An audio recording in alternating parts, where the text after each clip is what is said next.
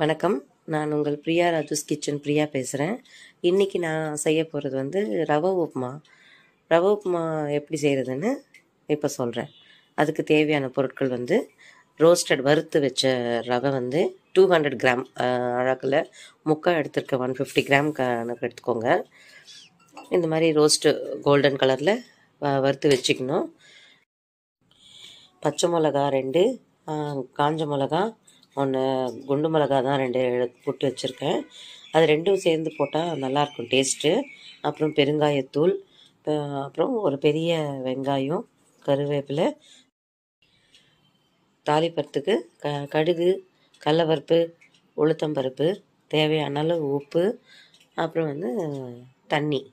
வாங்க இப்போ நம்ம எப்படி செய்யலான்னு பார்க்கலாம் வானிலையில் ஒரு மூணு டேபிள் ஸ்பூன் எண்ணெய் விட்டுருக்கேன். ரவை உப்புமாக்கு எப்பயுமே வந்து எண்ணெய் கொஞ்சம் கூடுதலாக தேவைப்படும். அப்போ தான் நல்லாயிருக்கும். இல்லைன்னா சாப்பிட முடியாது. இதுவே சேமியா உப்புமாக்கு அதிகமாக போடக்கூடாது. அது ரொம்ப கம்மியாக தான் அதுக்கு பிடிக்கும். இப்போது எண்ணெய் சூடாயிடுச்சு. இதில் நம்ம கடுகு போடுறோம் நான் சொன்ன மாதிரி கடுகு போடும்போது அடுப்பை சிம்மில் வச்சு சிம்மியில் வச்சுட்டு தட்டு போ த ஒரு கரண்டி அதில் வச்சுருங்க. மேலே செதுறாமல் இருக்கும்.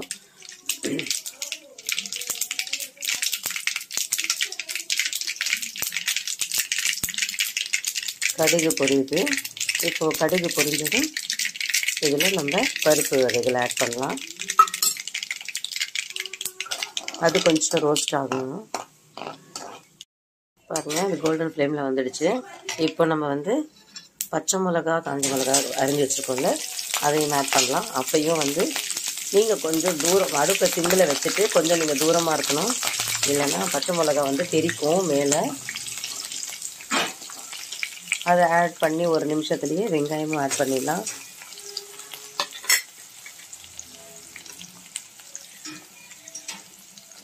அப்புறமா பெருங்காயத்தூள். இது பெருங்காயத்தூள் கொஞ்சம் நிறையா இருந்தால் ஃப்ளேவர் நல்லாயிருக்கும் கட் பண்ணி வச்சுருந்த கருவேப்பிலையும் ஆட் பண்ணலாம்.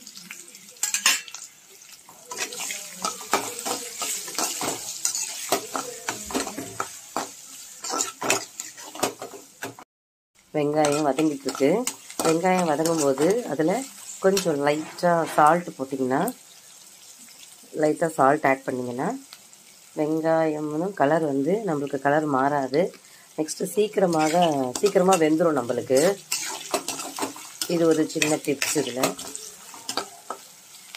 இது ஒரு நிமிஷம் நம்ம மூடியும் வைக்கலாம். இப்போ நம்ம வெங்காயம் வெந்துடுச்சான்னு பார்க்கலாம்.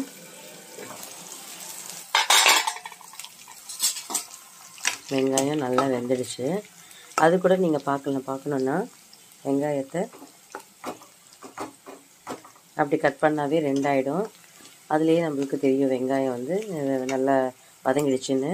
இப்போ நம்ம வந்து ஒரு அழகு ரவைக்கு மூணுன்ற கணக்கில் தண்ணி ஊற்றுறோம் இப்போ நான் ஒன் ஃபிஃப்டி கிராம்ஸ் எடுத்துருக்கேன்ல. அதில் வந்து முக்கால் அழகு. அதில் வந்து அதுக்கு ரெண்டு இரநூறு கிராம் லிட்டர் தண்ணி. அதில் வந்து ஒரு ஒன்றரை டம்ளர் தண்ணி நான் ஆட் பண்ணுறேன் இதுக்கு உப்பு வச்சுருக்கேங்க அந்த சால்ட்டையும் போட்டுடலாம். இப்போ அடுப்பை ஃபாஸ்ட்டில் வச்சுட்டு மூடி மூடி வச்சோன்னா ஒரு நிமிஷத்தில் தண்ணி சூடாகிட்டு உடனே ரவை கொட்டிடலாம். வாங்க இப்போ தண்ணி கொதி வந்துடுச்சான்னு பார்க்கலாம். தண்ணி நல்லா கொதிக்குது. இப்போ அடுப்பை சிம்மில் வச்சுட்டு இதை நம்ம ரவை ஆட் பண்ணலாம். அடுப்பை சிம்மில் வச்சுட்டேன். இப்போ ரவை வந்து பொறுமையாக கொட்டிக்கிட்டே பெருசாக கொட்டிக்கிட்டு கலந்துக்கிட்டே இருக்கணும் இந்த பக்கம். அப்போ தான் வந்து உருண்டை உருண்டையாக பிடிக்காம நல்லா வரும் நம்மளுக்கு. ரவை கொட்டியாச்சு. இப்போ நம்ம கலரி விட்டுட்டு ஒரு ரெண்டு நிமிஷம் நம்ம மூடி வச்சாவே போதும். நல்லா வெந்துடும். ரவை உப்புமா ரெடி ஆகிடும் இப்போ நம்ம இதை மூடி வச்சிடலாம். இதை நம்ம நீங்கள் வந்து இந்த ரவை சேமியா அப்புறம் நான் இதுக்கு முன்னாடி வீடியோவில் வந்து சொஜ்ஜி டிஃபன் சொன்னேன் அதுக்கு பச்சரிசி பருப்பு எல்லாமே வந்து நீங்கள் இந்த மாதிரி வறுத்து வச்சுக்கிட்டிங்கன்னா இப்போ திடீர்னு யாராவது கெஸ்ட் வந்தாவோ இல்லை அர்ஜென்ட் நம்ம எங்கே வெளியில் போகணுமோ இல்லை ஆஃபீஸ் போகிறவங்களா இருந்தாலும் அவங்களுக்கு வந்து இன்ஸ்டண்ட்டாக டக்கு டக்குன்னு ஒரு பத்து நிமிஷம் டென் டு ஃபிஃப்டீன் மினிட்ஸில் உங்களுக்கு டிஃபன் ரெடி ஆகிடும் இந்த ரவை சேமியா சொஜ்ஜி மட்டும் கொஞ்சம் வேகிறது தான் கொஞ்சம் லேட் ஆகும்.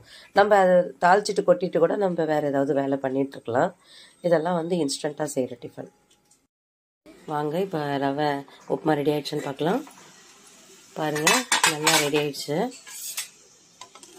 இது பார்த்தாவே தெரியுது பாருங்கள் அப்போ ரவை போடும்போது கொஞ்சம் அந்த குட்டி குட்டியாக ஒயிட் ஒயிட்டாக இருக்கும். அது கூட இல்லாமல் ஃபுல்லாக வெந்த கலர் நல்லா தெரியுது. இப்போ நம்ம நல்லா கிளறி விடலாம்.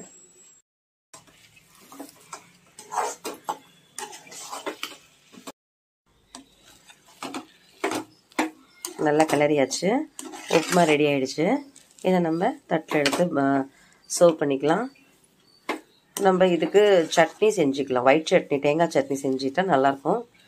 அதுக்கு கூட கொஞ்சம் காரம் குத்து நல்லா இருந்தால் தான் நல்லாயிருக்கும். இல்லை ஊறுகாய் தொகையல் அந்த மாதிரி ஏதாவது வச்சுக்கலாம். பாருங்கள் டேஸ்டியான சு சூடான ரவ உப்புமா ரெடி. இந்த வீடியோ உங்களுக்கு பிடிச்சிருந்தா சப்ஸ்கிரைப் பண்ணுங்கள் லைக் பண்ணுங்கள் ஷேர் பண்ணுங்கள் பக்கத்தில் இருக்கிற பெல் ஐக்கனை கிளிக் பண்ணுங்கள் தேங்க்யூ